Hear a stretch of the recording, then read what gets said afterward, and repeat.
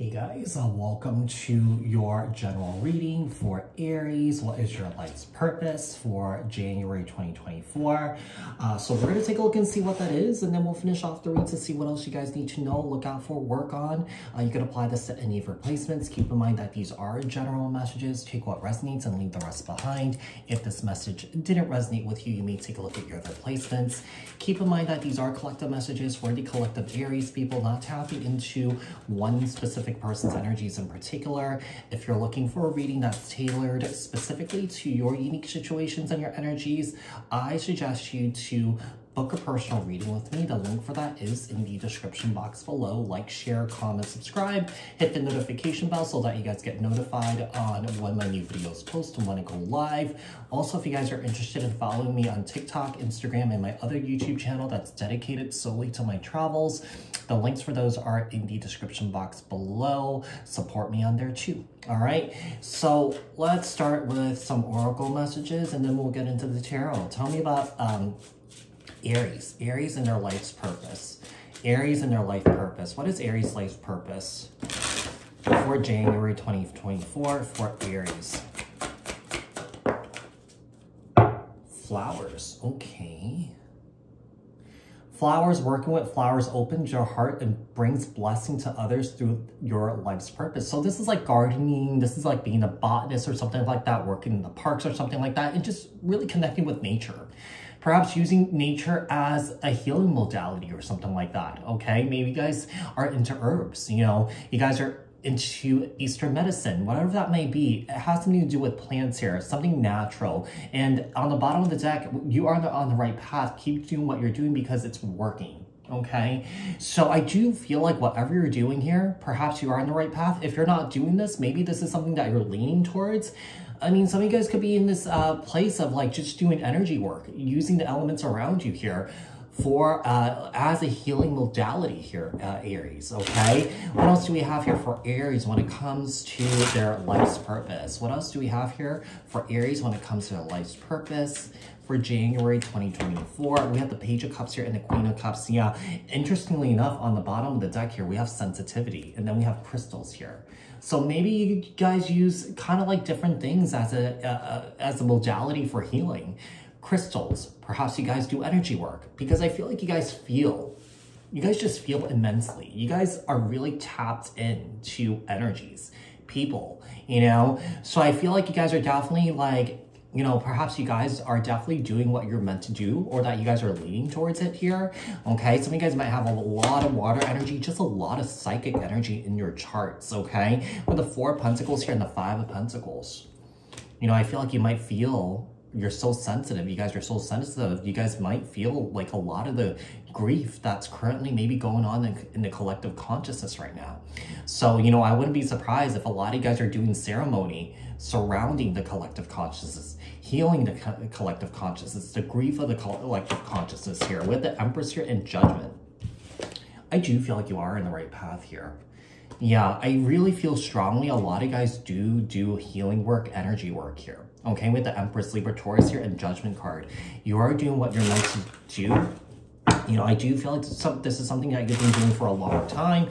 Maybe some of you guys got recently got certified or that you guys are looking to do that. Okay, so you guys could apply this to your own timelines here. Judgment.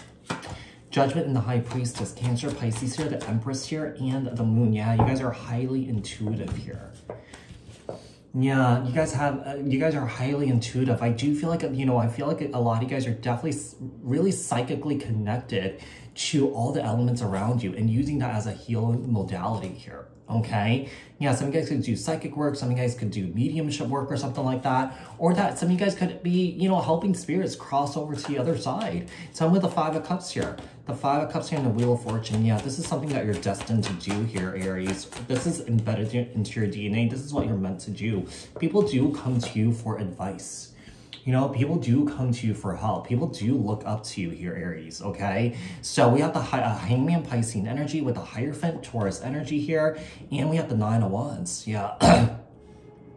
so this is about healing other people's pain and trauma Make sure you protect yourself here because you're highly intuitive, you are highly very sensitive here, and I feel like a lot of guys do absorb energies like, a sponge here, okay? I do feel like you guys have a very, very, very pure vessel so that you, you guys are able to do this work to your fullest potential here.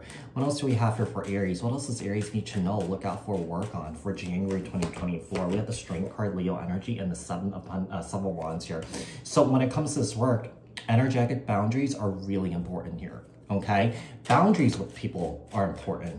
You know, sometimes when we do, we do the, the, this type of work, a lot of times people tend to like to ask for freebies. You know, so make sure you stand your grounds because you know the energy exchange that we provide, the service that we provide for these individuals, it's not really free, you know, it's, it's, it's currency, it's energy being exchanged here, you know? So make sure you don't allow people to take advantage of you. Whatever that might look like to you, I mean, it could be, you know, any amount that you choose that's fits you. But, you know, I do feel like, you know, you should charge what you feel like you deserve you know? Um, so you know i do feel like moving forward there are a lot of people coming towards you here because people see you as a very balanced feminine and masculine uh, energies here okay? So i feel like people do come to you and you know i do feel like how the word spreads is through word of mouth and social media here i do feel like you know whatever you're doing here i do feel like you know i do feel like you guys are definitely making some big plans here yeah, I do feel like you guys also do outer body work, you know, um, you know, stuff with the underworld, you know, maybe astral travel and stuff like that. Maybe you guide people through that or that you're guiding people through that here. The Page of Swords and the Two of Cups here, Page of Pentacles and the King of Cups. Strong masculine energy here.